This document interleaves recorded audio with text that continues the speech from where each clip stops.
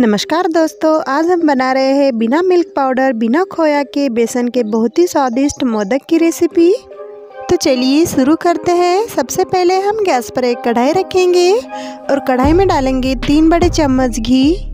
जैसे हमारा घी गर्म होता है, अब हम इसमें डालेंगे पाँच कटे हुए बादाम, पाँच कटे हुए काजू डालेंगे और दस से ग्यारह पिस्ता डालेंगे। इस तरह से कटे हुए ड्राई फ्रूट का हमें हल्का कलर चेंज होने तक घी में फ्राई कर लेना है। बस इतना ही हमें इसका कलर चेंज कर लेना है। अब हम ड्राई फ्रूट को निकाल के एक प्लेट में रख देंगे।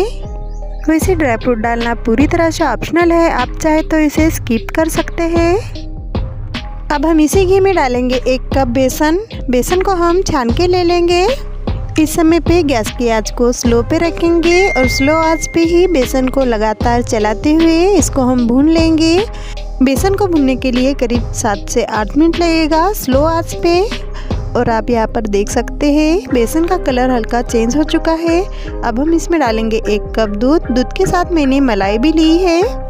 तीन चम्मच के आसपास होगी ये मलाई। अगर आप मलाई नहीं डालना चाहते हैं तो आप इसे स्किप कर सकते हैं, लेकिन मलाई से बहुत ही अच्छा टेस्ट आता है मोदक का। बिल्कुल मावे की तरह। अब हम इसमें डालेंगे हाफ़ कप चीनी, यानी कि शुगर अगर आप मीठा थोड़ा ज़्यादा पसंद करते हैं तो आप एक या दो चम्मच चीनी और डाल सकते हैं, लेकिन एक कप बेसन के लिए हाफ़ कप चीनी एकदम परफेक्ट होती है।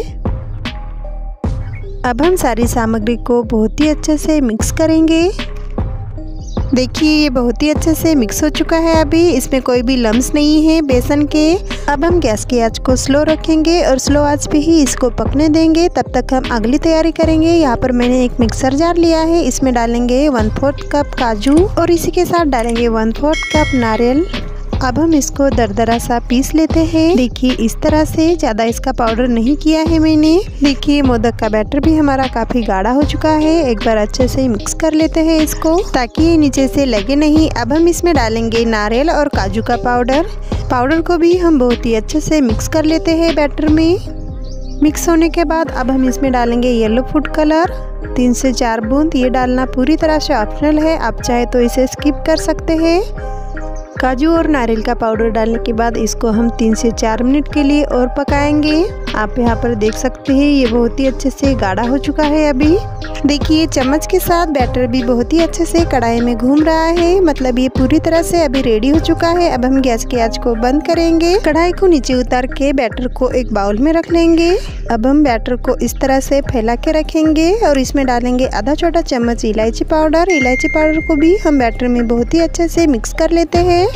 अब हम मोदक के बैटर को पूरी तरह से ठंडा करेंगे। ठंडा करने के लिए आप इसको फ्रिज में भी रख सकते हैं, या फिर आप इसको फ़ैन के नीचे भी रख सकते हैं। देखिए, बैटर हमारा पूरी तरह से ठंडा हो चुका है। अब हम इसमें डालेंगे काजू, बादाम और पिस्ता जो हमने फ्राई करके रखा था वो। अब हम इसको हाथ से ही बहुत ही अच्छे से मिक्स कर लेते हैं। देखिए, इस तरह से। देखिए, ये बहुत ही अच्छे से मिक्स हो चुका है अभी। अब हम लेंगे मोदक का साँचा और मोदक के साँचे को घी लगा करके ग्रीस करेंगे ताकि हमारा मोदक बहुत ही आसानी से निकल सके। घी लगाने के बाद अब हम मोदक का बैटर लगाएँगे। इस तरह से दोनों साइड से मोदक का बैटर लगाते समय हल्का इसे प्रेस भी करेंगे ताकि इसमें कली बहुत ही अच्छे से आए। अब हम मोदक के साँचे को बंद करेंगे और ऊपर से भी इस तरह से प्रेस करेंगे। थोड़ा सा बैटर और लगाएँगे और ऊपर से इस तरह से प्लेन करेंगे। अब हम मोदक के साँचे को खोल लेंगे। आप देख सकते हैं, मोदक की कलियाँ बहुत ही अच्छी आई है और खाने में भी बहुत ही टेस्टी लगता है ये मोदक। गणपति बापा को तो ज़रूर पसंद आएँगे ये मोदक। इसी तरह से सारे मोदक बना करके रेडी करेंगे हम। उम्मीद करती हूँ आपको ये आज का वीडियो पसंद आया होगा। अगर वीडियो पसंद आया तो प्लीज़ वीडियो को लाइक कीजिए और चैनल को सब्सक्राइब कीजिए। वीडियो को पूरा देखने के लिए धन्यवाद। मिलते हैं अगले वीडियो में। तब तक के लिए बाय